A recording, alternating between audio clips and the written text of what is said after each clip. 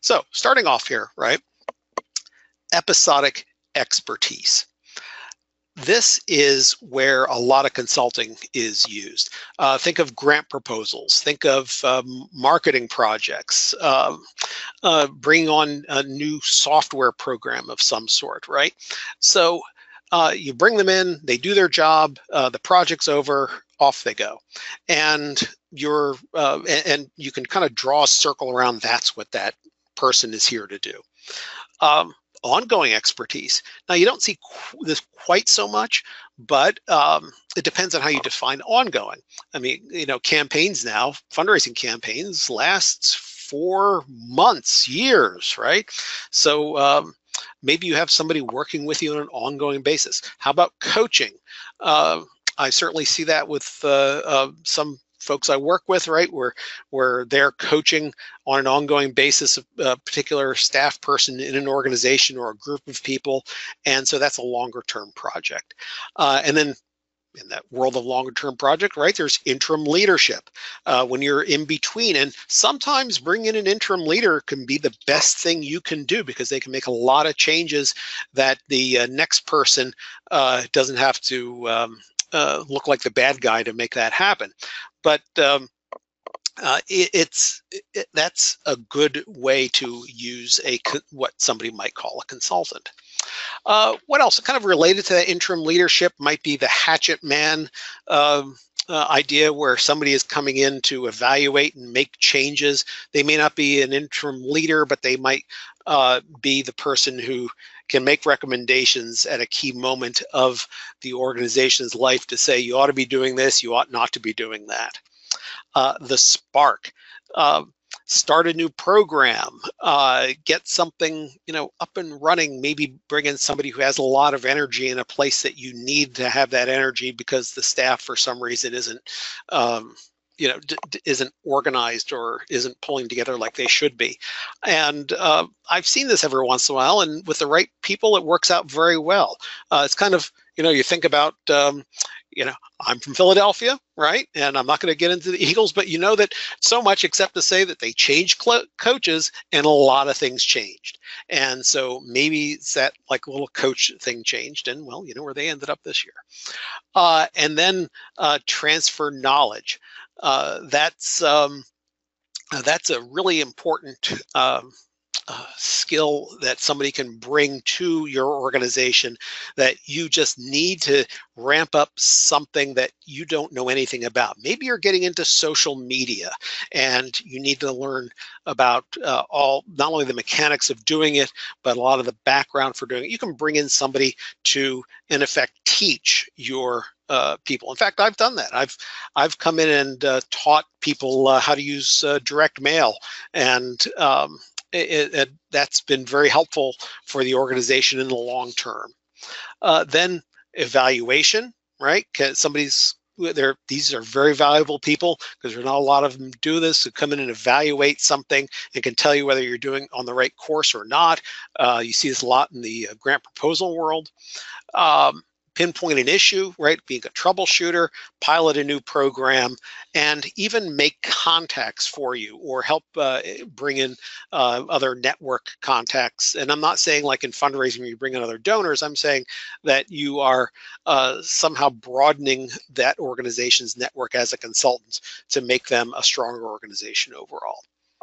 So it's important, however, that people kind of step back and say, okay, so what's the impact of consulting? And one of the big questions I get is, won't a consultant just make more work for me? Well, yeah. Honestly, yeah, that is entirely possible. It might be that a consultant will not, particularly the kind who advise as opposed to the kind of doing like a, some sort of project. Um, it could well be that they're going to make more work for you. And it's, but it really depends on what you're asking for them to do. Okay, so that's, you know, and you you have to supervise and approve what your consultant's doing for you. However, it's really important to keep in mind that even though you might be doing more work, you're going to end up as the person who is responsible for that consultant um, in, in your shop as a nonprofit, right? But your work could be much more effective. That's huge.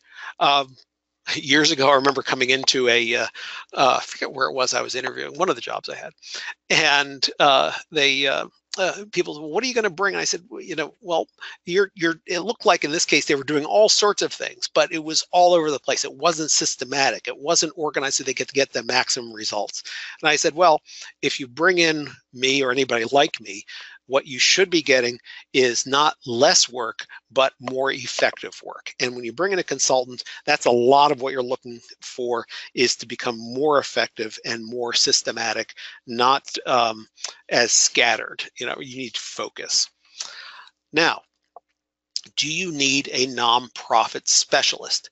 And, you know, the answer is no if the work is universal in nature and you know or if you're looking for a business perspective. So what i'm saying here like universal in nature a lot of it work honestly it really doesn't matter whether it's done for a small business for a nonprofit for a government entity. You know windows is windows right? Um, you know apple is apple. And so if you have uh, somebody who can deal with what you're doing and they happen to do it for other kinds of organizations, that's fine. That's not a problem. Uh, graphic design might be another one of these. Um, so there's uh, certain uh, kinds of consulting work that people are going to come in that have universal um, work across business sectors. And then, of course, I think it's important that if somebody were to um, bring you a business perspective, um, that's not a bad thing, right? Um, that, that, might now I'm not, and we could I could do a whole nother session on on the businessization of uh, of nonprofits and whether that's good or bad. But some people are looking for a different angle on something. Not a problem bringing somebody who's not a nonprofit specialist. However, I will also say that these same people need to understand the culture and it might be some education on your part right? And the difference between nonprofits for profits governments and how that impacts the work they do for you versus the work they're doing for one of their other clients. So there are a lot of times you don't necessarily need a nonprofit specialist. However there are a lot of times when you do especially when the work is specific to your mission your uh, or just nonprofits in general. I mean what comes to mind right off the top of my head is fundraising, grant proposal writing, right? That is specific to nonprofits. Um, you know, businesses, government, they're not going to do that kind of work. Nonprofits are. You need somebody who is a nonprofit specialist in that world. Uh, also, uh, a lot of mission expertise is simply um, focused on nonprofits. You know, if you're doing certain healthcare policy work, say, or if you're doing uh, bird counts or oceanography, you know, whatever it is, right? That there are some things that is just important that, you know, that's tagged to your mission and they uh, will likely only be uh, nonprofit people for that. So you need to look out for those. Now, um, this is important, whoever you get, to understand that you know, consultants aren't employees. And first of all, there's some legal issues here. And I would encourage anybody to look up uh, the IRS 20 question test about whether somebody is a, uh, I think they call them contractors, or um, or an employee, because uh, it really a lot of times it comes down to whether they can set their own hours and their own method of doing something and uh, it helps if they have other clients and it doesn't look like they're working exclusively for you but there's all these you know so i'll leave that up to you to google and uh, there's a lot of articles out there on that but there are some legal definitions here that you ought to be aware of um, in hiring practices, like we said earlier, a lot of times consultants are brought in outside the HR system. So uh, you, uh, while there are a lot of good things in uh, HR practices that are uh, applicable to bring in a consultant, uh, you may not be under the monitoring influence of that department in your organization. So um, that kind of makes a little bit of a difference. And then uh, socially, you know, it's important uh, that you understand that there is a different social dynamic with consultants. And it's not because anybody wants to be different necessarily, it's just the nature of somebody coming in episodically, uh, or maybe if they're there, um, you know, on an ongoing basis, but you know they're only going to be there for a period of time, uh, you might end up treating them differently. Uh, you might end up, uh, depending on their personality, you know, have other things that you can, um, uh, that you will put up with that you wouldn't necessarily put up with employees because they're only going to be there for a certain now i'm not talking about anything egregious i'm just talking about just kind of how people work together. Uh, and um, you know where they do their work uh, will impact that. If they're of course working from a home base that's different than working from your office right? But just keep that in mind that um, that it could be different uh, socially that way. Now um, politically this is an important issue here, right? That hiring consultants aren't always popular uh, with the staff because they might think, well, that consultant's getting big bucks, right? That you could use elsewhere, maybe in my paycheck.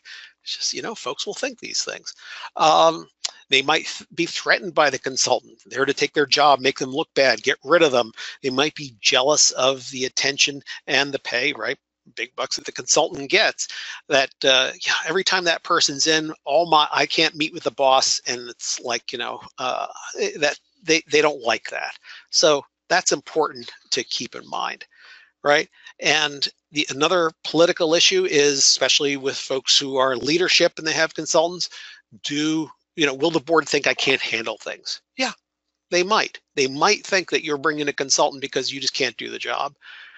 That's why you need to to have the conversations with the organizational leadership in terms of the board or you know if if you're in a position or somebody between you and the board about why a consultant might be the best thing to do that will help your organization move ahead in a very efficient way.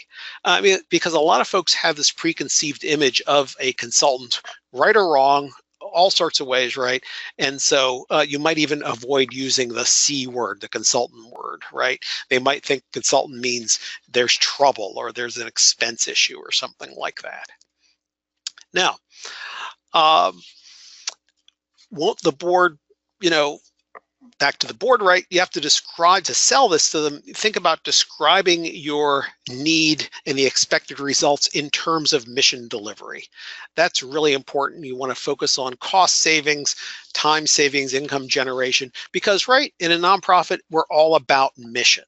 And so if you can point to why a consultant even if it's a like a fundraising consultant right why that's going to help mission now you are moving ahead on selling why this is an important thing for you to do, assuming that you, you know, believe that, which I hope you would. Okay, making your selection. I just threw out then when you get the PDF here, you can uh, take a more careful look at this, right? But I threw out a bunch of attributes of a great consultant. Right? I mean, you want them to be a fearless speaker, to have self-confidence, to have technical know-how, be relatable, organized, right? Okay, you're not going to find all these. I'm sorry. I mean, I would love to have every say, oh, all consultants do this. No, but you have to pick the uh, the attributes that are really important for you, and match them with what uh, what you you need and the kind of people you're seeing come in front of you. Uh, but take a look at this at your leisure here. I think you'll find some that will be connected for you and what you need.